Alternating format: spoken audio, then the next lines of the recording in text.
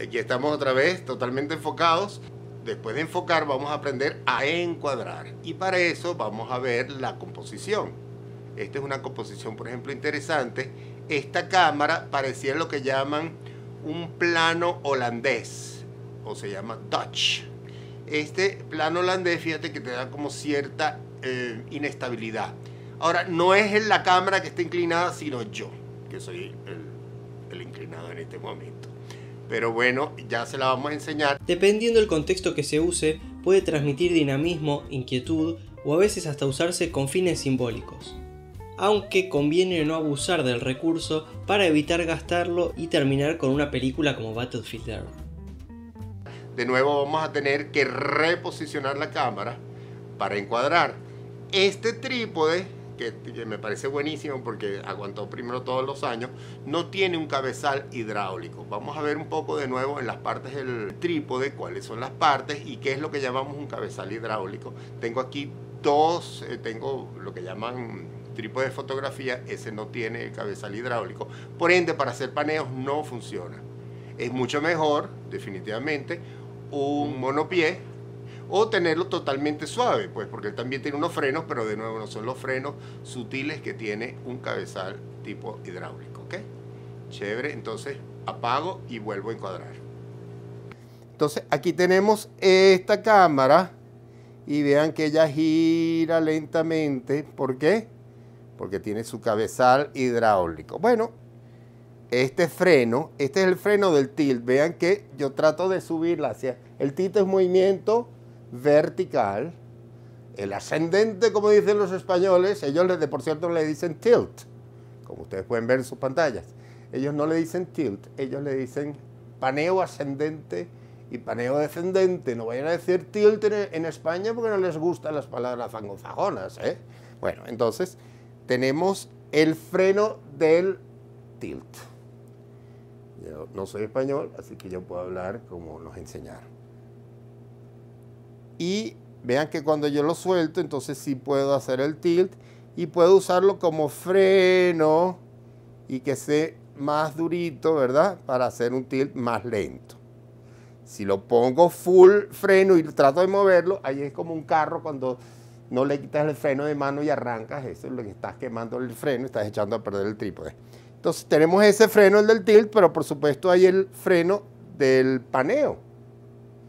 El freno del paneo, para ese, ¿se acuerdan que lo moví así lentamente? Bueno, este es el freno del paneo. Si yo le doy aquí a lock, ya no mueve. ¿Qué es lo bueno? Que si yo, por ejemplo, quiero hacer un video de estos donde aparezco aquí, aparezco aquí, aparezco más atrás, por jump cut, lo que llaman jump cut, ustedes pueden tranquilamente con una cámara fija. Si ya yo tengo una persona atrás agarrando la cámara, eso va a quedar muy mal. Entonces, fijen la cámara. Este trípode, por ejemplo, ahí se ve, no tiene el cabezal hidráulico. Entonces, hacer paneos con él sí va a ser difícil.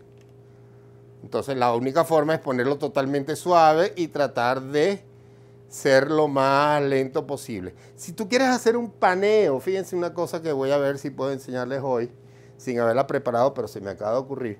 Si tú quieres hacer un paneo y tienes un tripodito de estos de fotografía, si lo llamo yo, tú puedes agarrar y hacerle como una extensión acá, porque para eso tiene un hueco, entonces le meto esto aquí y obviamente al estar más lejos va a ser un movimiento más lento. No sé si sabían eso. Este es su freno. Este nada más tiene ese freno. Entonces ya vieron los frenos muy importantes cuando llega un estudio y ustedes agarran esa cámara y la mueven, entonces ya dicen que este no sabe nada. Así que siempre tengan cuidado y si no sé, y si no saben, porque todas las trípodes no son iguales, todas las cámaras, pregunten que es preferible que, ay, mire, ese tonto no sabía esto. Sí, pero no lo sabías una vez, no eres el tonto o el idiota que rompió la cámara o que rompió el trípode. Eso sí es una raya para siempre. Encuadrar. A mí no me gustan los encuadres eh, así centrados, simétricos.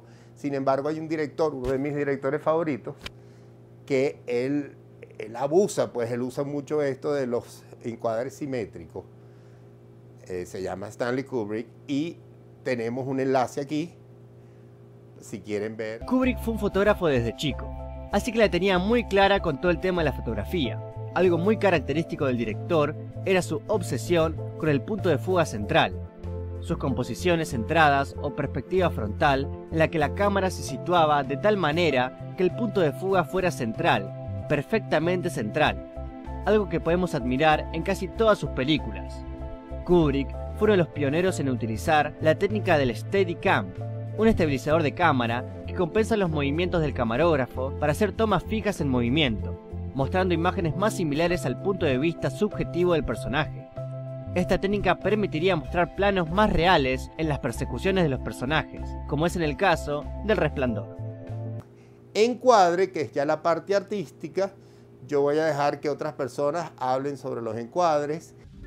La composición es un arte, y como tal su apreciación es subjetiva, pero basándonos en elementos y patrones comunes a través de los cuales los seres humanos percibimos las imágenes, hay algunas guías que es bueno conocer y tener en cuenta para saber cómo se arma y equilibra un plano para transmitir una determinada idea o sensación. Sin duda, uno de los métodos más empleados es el principio de la relación figura-fondo que estableció la psicología de la Gestalt, el cual dice que, cuando se focaliza la atención en un elemento, se separa conceptualmente la imagen entre un fondo y una figura.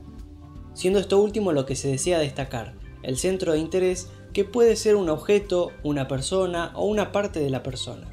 Aunque si se invirtiera la situación y se pasara a prestar atención a lo que antes era fondo, este se tornaría en figura, como de hecho puede suceder cuando hay por ejemplo un cambio de foco.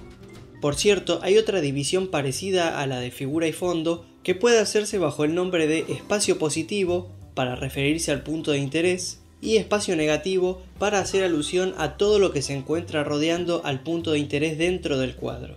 A veces se elige ampliar el espacio negativo para darle menos lugar en el cuadro al objeto de interés, para transmitir así una sensación de soledad, aislamiento o calma a través de la imagen. Nuestros ojos occidentales, como están acostumbrados a leer y decodificar de izquierda a derecha, si el personaje está compuesto a la izquierda y a su derecha hay mucho espacio negativo, el encuadre puede sugerir que éste tiene un gran camino por recorrer, como por el contrario puede significar que ya lo ha recorrido si esto se invierte y el personaje se sitúa a la derecha del encuadre. Iluminación, señores. Seguimos con la iluminación.